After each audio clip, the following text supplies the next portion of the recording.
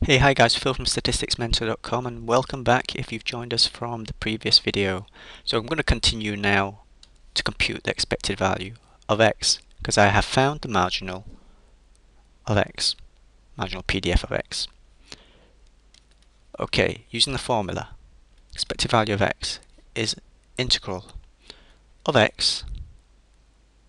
Um, uh, shall I write down results straight away? No, I think I will write down formula that we've learnt from first year stats or the region of x. Uh, we can't apply this directly unless we know f of x, um, which we do if I bring over across the result from the previous section. So let me do that. What did we find it to be?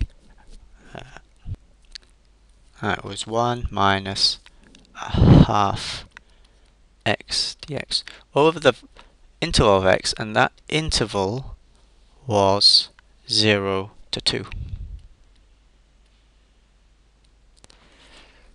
And then solving this is very easy, uh, dot dot dot 2 thirds. Um, using the result we found before. But supposing that I don't know this either, I'm going to, the way I've just shown you is most, is gives you the answer and that's pretty much as direct as you can make it. But let's just backtrack here because I want to do it so that we can discuss about order of integration.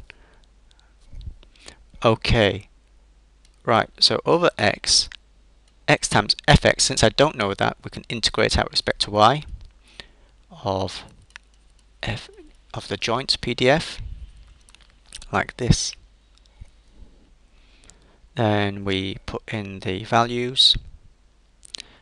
Um, x is between 0 to 2, x, and this integration of y is between the limits of x and 2 as explained in previous video if you're unsure how I got that and then f the joint which again um, is half a half like this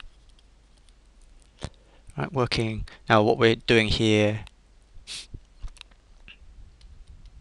is we're doing the inner one first. How come, hang on, dx, sorry.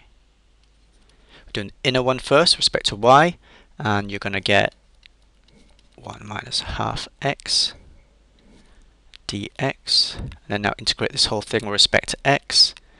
Uh, what's going to come to half x squared minus x cubed over 6 work it out.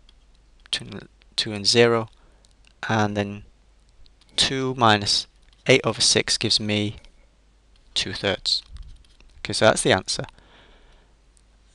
But can I instead of integrating first respect to y and then x can I do x followed by y?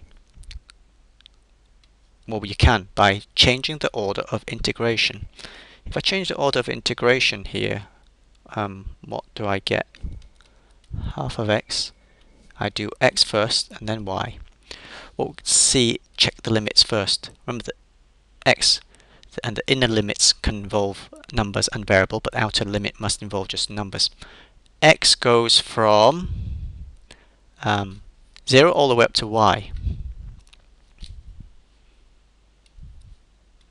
And y goes all the way from 0 to 2.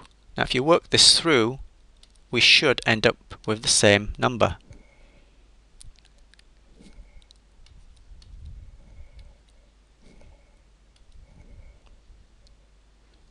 Cool. Uh, just check this math.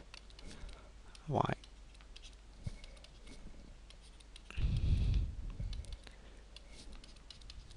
Aha, so we're done. That works. Alright, so I've done this and I've shown you also that I can interchange the order of integration, but changing the order of integration, notice the limits on the integrals have changed as well. Note carefully. Okay, that pretty much does it for this video. I've got one more video lined up um, right after this, and that's I'm going to show you something uh, that a few of my students did uh, wrong in their homework. Um, on a topic concerning this.